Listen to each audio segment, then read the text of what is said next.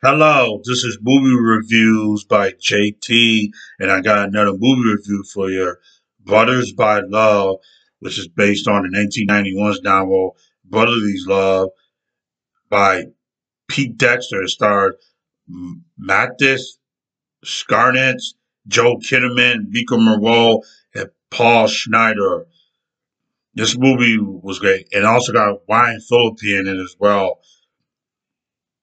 So this movie is about um about these two cousins who lives in Philadelphia. This stuff um it's about the Italians and the Irish people can't get along with each other. And Joe Kinnaman's character is the cousin to Marta Schoenaerts's character. So his name is Peter Flood and, and Joe Kinnaman's Michael Flood and stuff. They got along, but not too much though.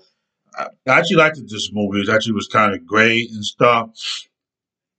So then it showed a little flashback where um where uh, Marcus Scon- Matthias Schoenaerts's character when he was younger when he saw his sister get um, killed by um, a car, get one across the street. He told her to stop. Ryan Phillippe was upset because the guy who did it was actually was a police officer and everything. And Joe Kinnaman's character is the guy that buy a horse, Michael, and the horse is sick. And so Marcus uh, Schoenaerts's character broke at this gym and stuff, like a boxer and all that and stuff everything. This movie was great. I liked it. And, and the performances by Joe Kinnaman and Matthias Schoenaerts was great. And, and Ryan Phillippe and Vico Morrow and stuff. I thought the, uh, it was a great movie to watch and stuff, showing Philadelphia about the Italian and and um the, the Irish people don't get along with each other stuff. It was some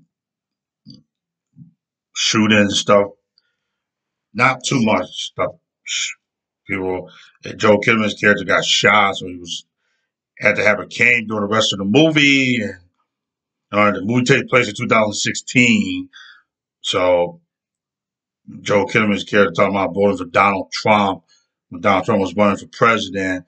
Um, so yeah, and everything. I give Brothers by Blood a seven out of three and stuff. I thought the movie was great and I liked it and the performances was great and everything and stuff. So and um everything. Um, comment down below and also subscribe to my YouTube channel as well. And also like. And that's my review for Brothers by Blood. All right, bye.